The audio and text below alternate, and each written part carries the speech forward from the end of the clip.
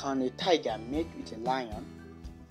Tiger and lions can and do mate, but only in captivity, since their natural ranges do not overlap, though they possibly did long ago, back when the two big cats were still numerous and had bigger hunting ground than today.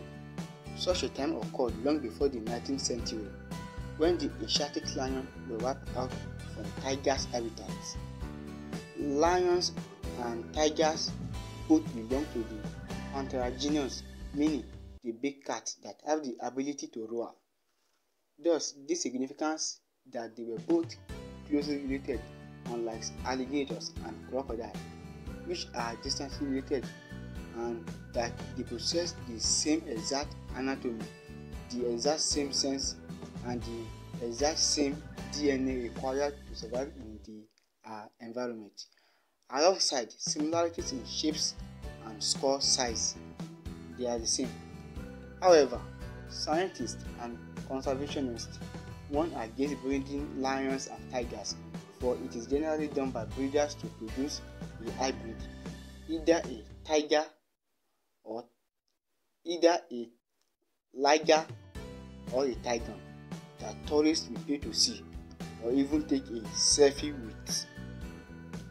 According to Big Cat Rescue, ligers offspring between a male and a tigress are usually larger than their parent, so the breeding naturally put the mother tigress at a great risk in carrying the youngs and may require C-section deliveries that can kill the tigress. Additionally, not all ligers can be healthy, for they can develop neurological disorder.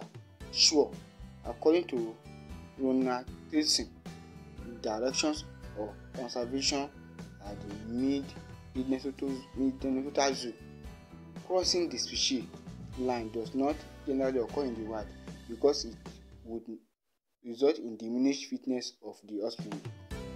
It gets worse.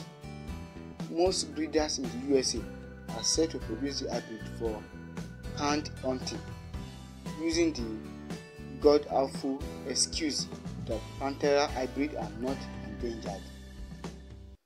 All of these facts are primary reasons why it is now more imperative than ever to stop lion tiger breeding and encourage people not to visit zoo so-called sanctuaries that contain Panthera hybrid.